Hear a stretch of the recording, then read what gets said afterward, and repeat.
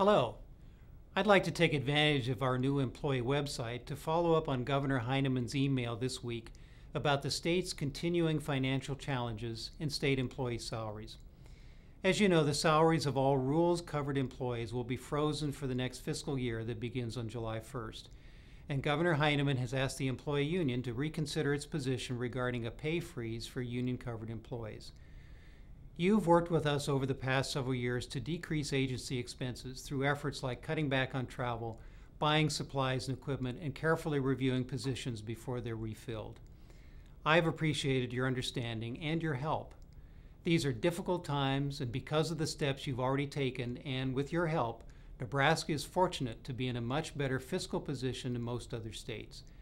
However, since revenue receipts have not met projections, these additional steps are necessary.